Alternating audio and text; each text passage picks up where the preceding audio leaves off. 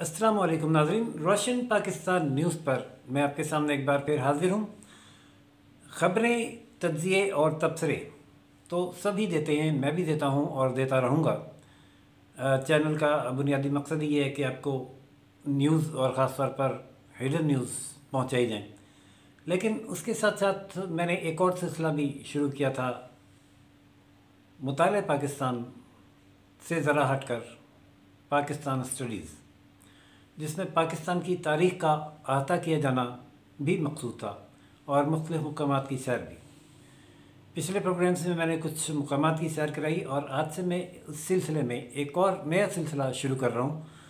और वो ये है कि जो बुक्स, जिन तक अब लोगों की रसाई नहीं है, बल्कि सोशल मीडिया ने नौजवान नस्ल को तो ये आदत पढ़ने ही नहीं दी और पुरानी नस्ल की भी ये आदत ख़त्म हो रही है। फिर किताबें महँगी भी होती हैं, मिलती भी नहीं है मफकूब भी होती हैं। तो जो ख़ास तौर पर नौजवान नस्ल है, उस तक पाकिस्तान की तारीख़, असल तारीख़ और हिस्ट्री पहुँच ही नहीं पा रही। क्या वाक़ात हुए कौन कौन ज़िम्मेदार था क्या क्या अलमिया और सानही गुजरे इस मुल्क पर? किसी नौजवान नस्ल को ये बिल्कुल पता नहीं है। मैं हैरान हुआ एक फोरम में स्टूडेंट से जब मैंने रहमान कमीशन के रिपोर्ट के बारे में सवाल किया तो अक्सरियत को तो उसका पता ही नहीं था। एक ने सिर्फ़ अपनी काबिलियत का मुजाहरा करते हुए ये कहा कि वो रिपोर्ट तो सीक्रेट है। उसे ये पता नहीं था कि ये रिपोर्ट ओपन हो चुकी है। और अक्सर बच्चों को ये भी पता नहीं था हैरत अंगेज़ तौर पे कि बांग्लादेश भी कभी पाकिस्तान था। तो ये बच्चे और ये नौजवान नस्ल तो एक ही बुक जानते हैं और वो है फेसबुक। सोशल मीडिया का दौर है। उसमें कोई बुराई नहीं है, कोई नेगेटिव पहलू नहीं है इसमें कि उसको जो भी ईजादात हैं उनको मुस्बत इस्तेमाल किया जाए तो वो फ़ायदेमंद है मनफी इस्तेमाल किया जाए तो मनफी हैं। बिल्कुल किचन में रखी हुई एक छुरी की तरह उससे आप सब्ज़ियाँ काटें या गला या आप पर मुनसर तो सोचा मैंने ये कि इस नस्ल के लिए भी और वो नस्ल भी जो आ, अब किताब ख़रीद नहीं पाती या किताब तक पहुँच नहीं पाती, उसके लिए भी हमारे जो मेरे हम असर हैं। एक सिलसिला शुरू किया जाए जो पाकिस्तान में मुख्तलिफ़ कमीशन बने और उनकी रिपोर्ट शाया हुई। वो रिपोर्ट्स अपने इस चैनल के ज़रिए अपने नाजरन तक पहुँचाने का। इन कोशिश करूँगा कि जितनी भी रिपोर्ट्स ओपन हैं, वो भी आप तक पहुँचाऊँ और जो ओपन नहीं है और मेरे दर्स दर्स में आ सकती हैं, रसाई में आ सकती हैं वो भी आपको पढ़ कर सुनाऊँ। मैं सिर्फ़ रिपोर्ट्स पढ़ कर सुनाऊँगा। जहाँ कहीं एक आध लाइन का किसी तब वजाहत की, तबसरे की तजिए की ज़रूरत होगी तो वो भी कर देंगे। और इस नीयत के साथ मैं सिलसिला शुरू कर रहा हूँ कि इससे हमारी, मेरे नाजरीन कम अज़ कम जो हैं, उनकी नॉलेज में ये इजाफ़ा होगा और उन्हें इन रिपोर्ट्स को पढ़ने, समझने में, पढ़ने में समझने में और सुनने में आसानी होगी। अब तक हम सिर्फ़ सुनी सुनाई बातों पे लोगों की इतफ़ा करते रहते हैं कि फ़लाँ ने ये बताया गया फ़लाँ रिपोर्ट में ये लिखा है फ़लाँ में ये बताया फ़लाँ रिपोर्ट में लिखा है। अब ये एक ऐसा मेरे प्रोग्राम्स के ज़रिए एक हवाला होगा कि ये कोट किया जा सकेगा कि रोशन पाकिस्तान न्यूज़ के प्रोग्राम फ़लाँ रिपोर्ट एपिसोड नंबर फ़लाँ में ये बात की गई है। मैं उसके इकतबासात के अक्स भी साथ अपलोड किया करूँगा और आपको ज़बानी भी सुनाऊँगा ताकि जो मैं कह रहा हूँ, उसकी सनत भी रहे। तो नाजरीन, शुरू करते हैं। रिपोर्ट से रहमान कमीशन रिपोर्ट ये मेरे हाथ में है, देख सकते हैं। इसमें तर्जमा है। और, इसका शुरू करता हूँ मैं हरफ अव्वल से। आज एपिसोड वन में हरफ अव्वल और फिर पहले चैप्टर के कुछ सफ़ात आपके गोश गुजार करूँगा। उम्मीद है सिलसिला पसंद आएगा। पसंद आए तो पजीराई जारी रखेगा। तो शुरू करते हैं हरफ अव्वल। सोलह दिसंबर का दिन मुसलमान आलम की ईमान अफरोज़ जदोजहद में तारीख दिन के तौर पर हमेशा याद रखा जाएगा। जब इस्लामी दुनिया की एक बड़ी ममलिकत, यानी इस्लामी दुनिया की बड़ी ममलिकत, यहाँ पे मैं ये भी वजाहत करना चाहूँगा कि ये सिर्फ़ बड़ी ममलिकत नहीं थी। ये बल, पाकिस्तान इस्लामी ममालिक में रकबे के लिहाज से पहले नंबर पे था मुल्क, जब बांग्लादेश हमारे साथ हुआ करता था। और नौजवान नस्ल की इतला के लिए कि बांग्लादेश पाकिस्तान ही था। ईस्ट पाकिस्तान और वेस्ट पाकिस्तान ये दो सूबे थे। मशरक़ी पाकिस्तान और मगरब पाकिस, मगरबी पाकिस्तान और इनका नाम था पाकिस्तान। दो सूबों पर मुश्तमिल। इस इलाके का नाम पाकिस्तान था। एक बड़ी ममलकत बातिल क़वतों के सामने सरनगुम हुई। इसका सब हिलाली परचम, जो पर सग़ीर में मुसलमानों की तवील और शानदार रिवायत का अमीन था। ढाका जैसे तारीखी शहर के रेस कोर्स मैदान में तार तार हुआ, जहाँ पाकिस्तान की खालिद जमात मुस्लिम लीग ने जन्म लिया और बर सग़ीर की तारीख का एक अजीम बाब रकम किया। लेकिन ये अजीम बाब, जो हजीमत आमेज़ शिकस्त की गर्द में धुंधला गया और 16 दिसंबर के बाद एक मम्मा बनकर इस अजीम ममलिकत की आने वाली नस्लों के लिए सुहाने रूह बन चुका है। नाजरीन, हमारी माया नाज फौज के इन नबे हज़ार जानों को जंगी कैदी बनने पर मजबूर होना पड़ा, जो वतन अज़ीज़ की अजमत और मुखालफत के लिए बिखरे हुए तूफ़ान से टकरा जाने का अज़म रखते थे। यहाँ ये बात बताना और ज़रूरी है जो उसने भी लिखने की कोशिश की है कि जो नबे हज़ार कैदी थे जिन्हें भारत की जेलों में एक अरसे तक रहना पड़ा, ये शिकस्त उनकी शिकस्त नहीं थी। वो लड़ने के लिए, जान देने के लिए आखिरी वक्त तक तैयार थे, लेकिन हुक्म के पाबंद थे। ये शिकस्त उनकी थी जिन्होंने हथियार फेंकने का हुक्म जारी किया और जिन्होंने इस मुल्क के दो टुकड़े करने की साजिश तैयार की। सल्यूट है उन जवानों को, जो न सिर्फ़ जाने भी देते हैं, बल्कि कैदोबंद की सहूलतें भी भुगतते हैं हमारे मुल्क के लिए। और लेकिन इस रिपोर्ट के मुताबिक जिन लोगों की ज़िम्मेदारी का तयन हुआ है, उनको होनी चाहिए थी सदा वो नहीं हुई। क्योंकि रिपोर्ट ही खुफिया हो गई थी, जो तीस साल के बाद ओपन की गई है, सिर्फ़ इसको हम इस वक्त पढ़ ही सकते हैं। शायद कि कोई और हुकूमत, आने वाली हुकूमत इसके ज़िम्मेदारों को सज़ा देने के बारे में भी सोचे, लेकिन वो दूर, वो दौर वो वक्त शायद कभी नहीं आएगा।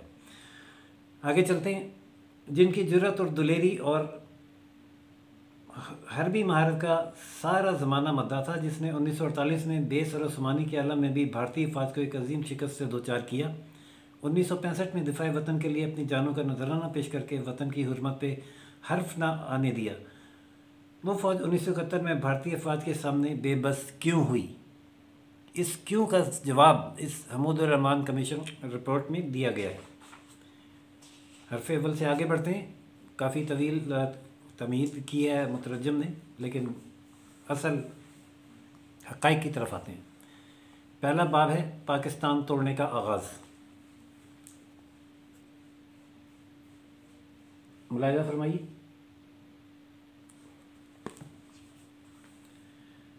अयूब खान ने इकदार से रुखसत होने से पहले 24 मार्च उन्नीस को अपने commander in chief Agha Mohammad Yahya Khan के नाम एक ख़त लिखा। ख़त कुछ यूँ शुरू होता है। ऐवान सदर रावलपिंडी 24 मार्च उन्नीस my dear general Agha Yahya Khan, मैं इंतहाई अफसोस के साथ इस नतीजे पर पहुँचा हूँ कि मुल्क में सिविल इंतज़ामिया और आइनी अख्तियार गैर मौसर हो गए हैं। अगर मौजूदा सूरत हाल इसी तशवीशनाक रफ्तार से बिगड़ती रही तो तमाम इकतसादी निज़ाम तबाह होकर रह जाएगा। और लोगों के लिए महजब और बावकार ज़िंदगी बसर करना मुमकिन नहीं रहेगा।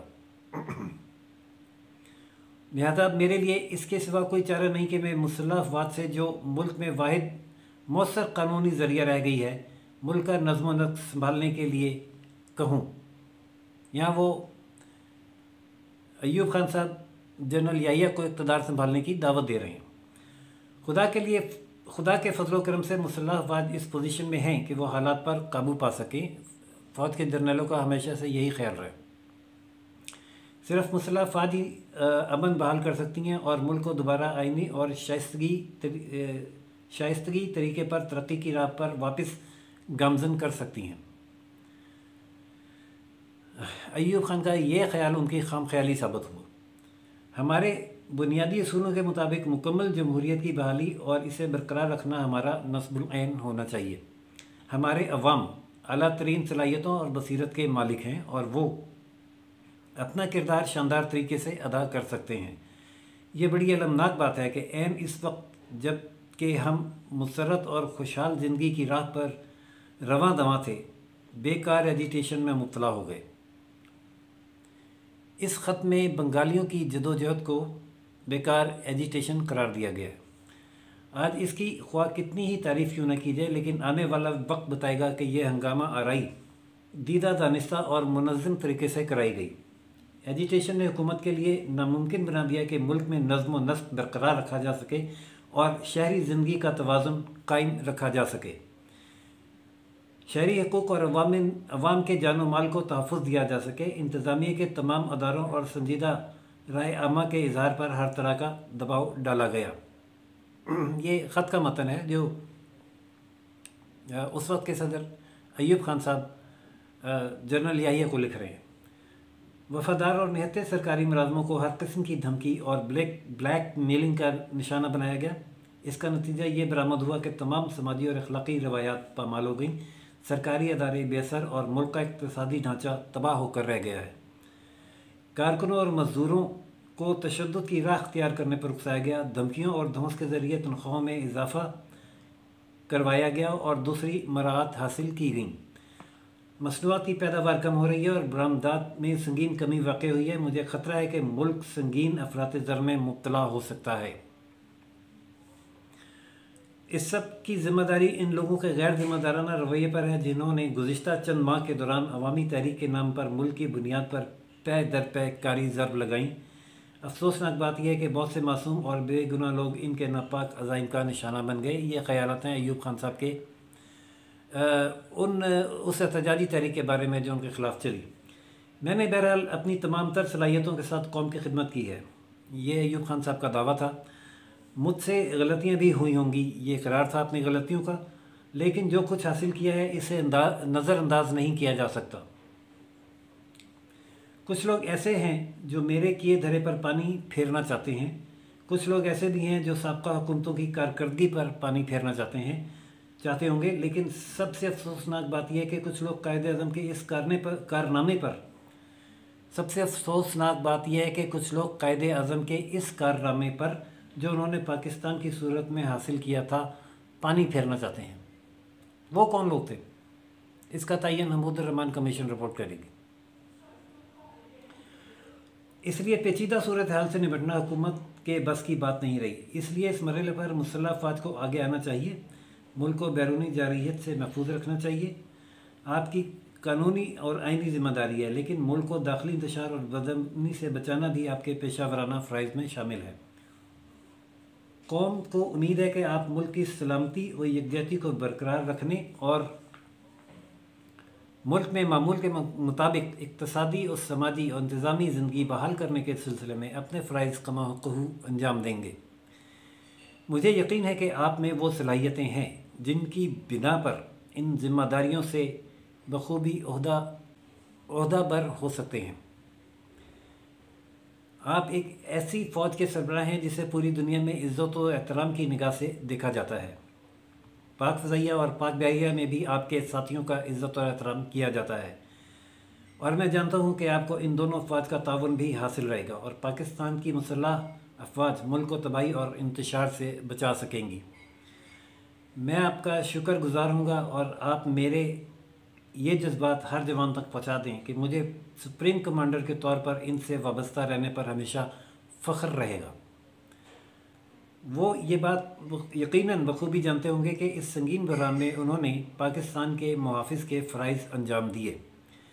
इनका अमल इस्लामी रवायात के मुताबिक होना चाहिए। खुदा इनकी रहनमाई करे। मैं हमेशा अवाम की बहबूद और खुशहाली की कोशिशों के सिलसिले में आपकी कामयाबी के लिए दुआ गो रहूँगा।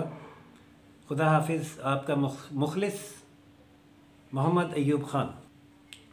नाजिन पहले किस्त इस ख़त तक रखते हैं। अगले प्रोग्राम की Rahman commission report, episode number two में हम आगे चलेंगे और देखेंगे कि रहमान कमीशन रिपोर्ट में क्या कहा गया है और किस पर ज़िम्मेदारी आयद की गई है। अब तक के लिए इतना ही। इजाज़त दीजिए राशिद अदीब को रोशन पाकिस्तान न्यूज़ से। देखते रहिए रोशन पाकिस्तान न्यूज़। इंतज़ार ज़रूर कीजिएगा Rahman commission report episode two का। लाइक, सब्सक्राइब और शेयर करना ना भूलिएगा। अल्लाह हाफिज़।